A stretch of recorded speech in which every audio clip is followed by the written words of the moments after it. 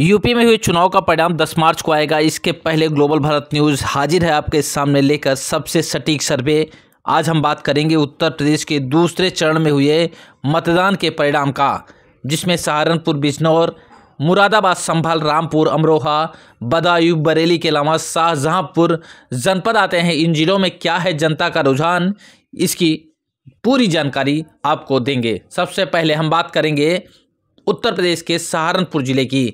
सहारनपुर में कुल सात विधानसभा सीटें हैं, जिसमें से भारतीय जनता पार्टी को तीन, जबकि समाजवादी पार्टी को तीन सीटें मिलने के आसार नज़र आ रहे हैं। यह रुझान है, अंतिम परिणाम नहीं है। दूसरे ज़िले की अगर बात की जाए तो दूसरे ज़िले की बात करेंगे बिजनौर की।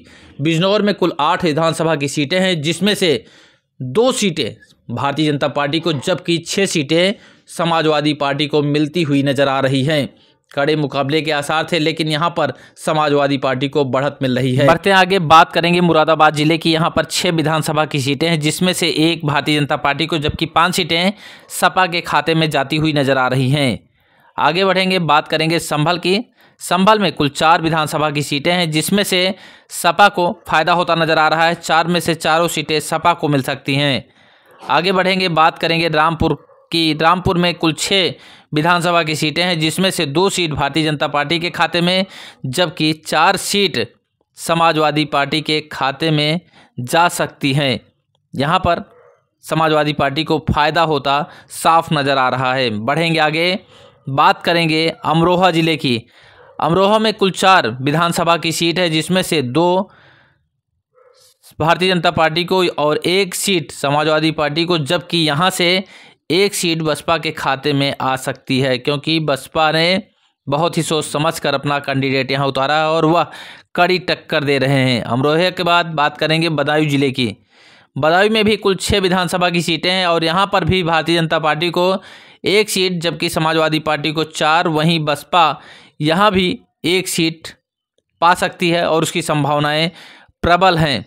आगे बढ़ेंगे, बात करेंगे बरेली ज़िले की। बरेली में कुल आठ विधानसभा की सीटें हैं। आठ में से कड़ा मुकाबला देखने को मिल रहा है। समाजवादी पार्टी और भारतीय जनता पार्टी दोनों के बीच कड़े मुकाबले के आसार हैं और दोनों को चार चार सीटें मिल सकती हैं।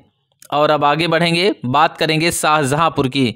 शाहजहाँपुर में कुल छः विधानसभा की सीट है, जिसमें से दो सीटें भारतीय जनता पार्टी को और चार सीट सीधे समाजवादी पार्टी को जाती हुई नज़र आ रही है।